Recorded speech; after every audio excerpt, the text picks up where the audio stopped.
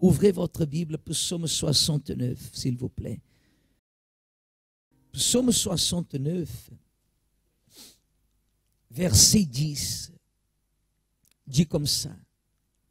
Car le zèle de ta maison, regardez ce que David il dit. Le zèle de quoi? Qu'est-ce qu'il fait? Le dévore. Regardez, David il disait, le zèle de ta maison, faites attention ici, Église, me dévore.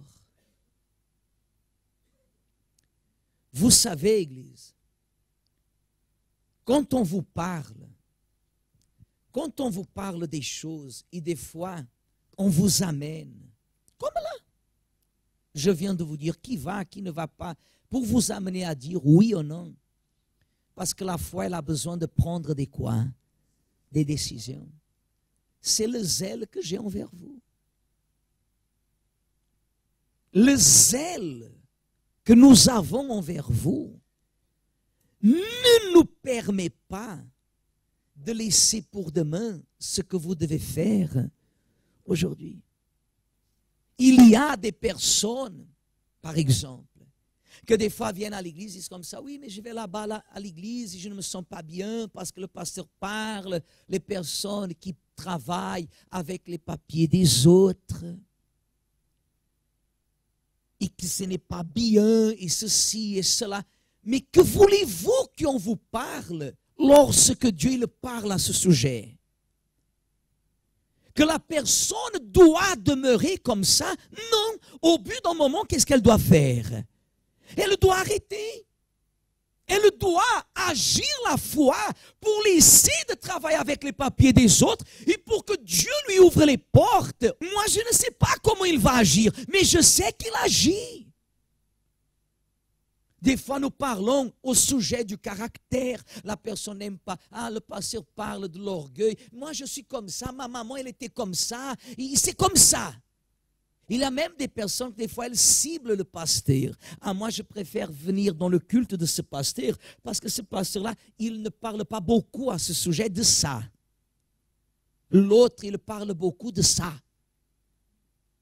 Vous voyez?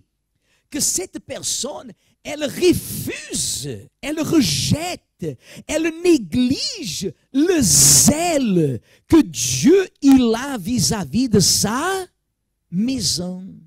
Mais les personnes, des fois, elles ne comprennent pas le zèle que Dieu a envers qui? Envers elles. Le zèle. Oh jeune homme, ce n'est pas bon ça. Ce n'est pas bon ça. Pourquoi? Parce que nous ciblons le salut. Nous ciblons le salut. Quand la personne, elle zèle pour la maison de Dieu, elle sait que tout ce que... Le, des fois, Dieu nous montre des choses qu'il faut parler, que nous-mêmes nous sommes obligés, obligés d'avaler à sec. Des fois, ça porte même une ambiance lourde, n'est-ce pas? Eh oui. Mais c'est Dieu qui veut parler. Parce qu'il zèle pour ça, sa maison. J'étais en train de voir le témoignage d'une dame qu'elle a une maison. Et devant sa maison, elle a un grand terrain qu'elle pouvait bâtir une maison pour sa famille. Et vous savez ce qu'elle a fait? Elle a bâti une église. Elle a bâti une église. Elle est allée chez le notaire, elle a fait un contrat, elle a fait une donation de l'église pour l'église, pour le centre d'accueil universel. La famille est restée, mais elle n'a pas voulu savoir. Elle a dit, c'est mon âme qui a été sauvée. Et ce que je veux, c'est que d'autres âmes soient sauvées. Regardez le zèle que Dieu a envers vous. Comment Dieu vous protège. Comment Dieu vous garde. Celui qui zèle pour vous, c'est Dieu.